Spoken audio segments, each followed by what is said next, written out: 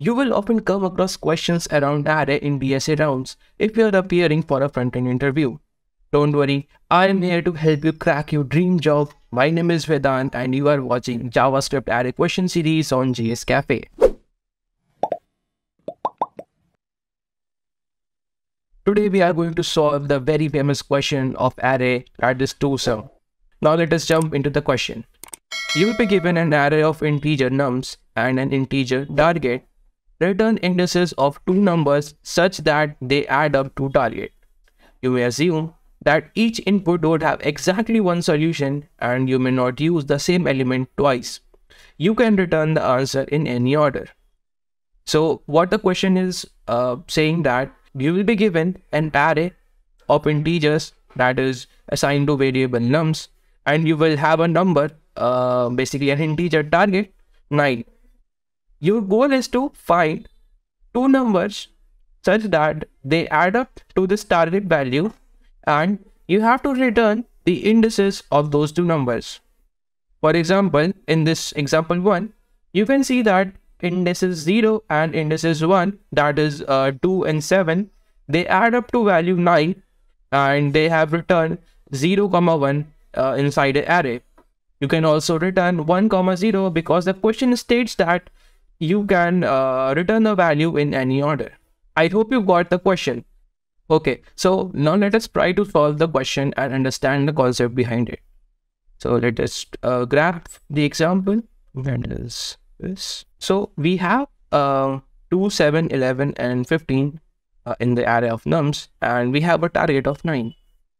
So wouldn't it be possible if we just um, have a map okay we have a map that will contain a key that would also contain a value. And inside this map what we are targeting is we are going to put the numbers against the indices. So what uh, let's suppose if we are iterating 2 we will put 2 over here. And since it is the index 0 1 2 3 4 5 so 2 will be against 0 7 will be against 1 and so on. Okay, sounds fair, right? So what we will do is we will start iterating over these numbers one by one and we are going to check that if if target minus number is present inside the map, it means that we have a solution.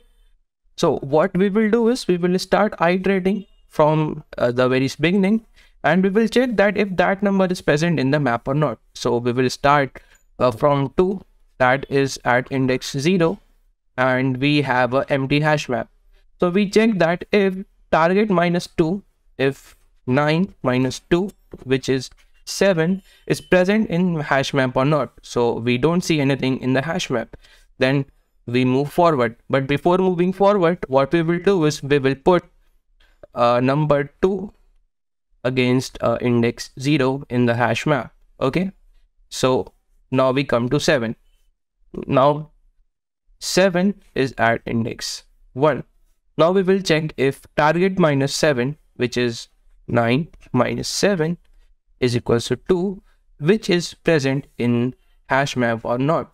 We see that this is present in hash map then what we will do is it means that we have a solution. So we will get the index from the hash map which is 0.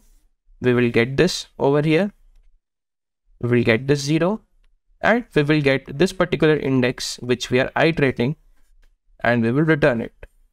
So this is the solution which we are going to implement. Now let us try to write the code for the same.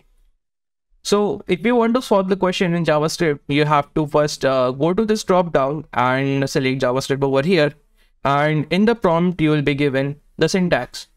So uh, you can see that clearly that this function is accepting param uh, numbers, which is an array, and another param that is a target, which is also a number.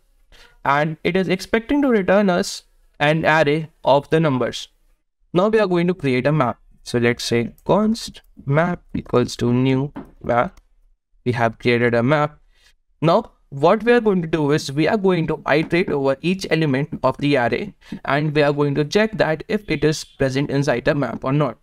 So to iterate over the uh, indices, we are going to use the for in loop for const index in nums. And what we have to find we have to find the pair target. So pair target. So pair target would be nothing. It would be target minus nums of index. And we see that if map dot has pair target then return index comma map dot get pair target. Okay? If this target is not present then what we are going to do we are going to set that particular value inside the map. So we are going to do map dot set nums of i nums of index actually comma um index. Now let us try to run this code and see how it is behaving. Accepted. Now let's try to submit it it is working fine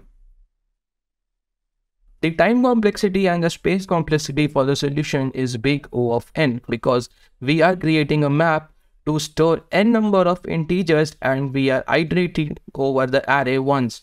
So since we are having a map to store the data, the space complexity is big O of n and we are iterating over the array integers once. So the time complexity is big O of n. So I hope you like the solution. Uh, this was all in this video. Till then, take care. Goodbye. See you in the next one.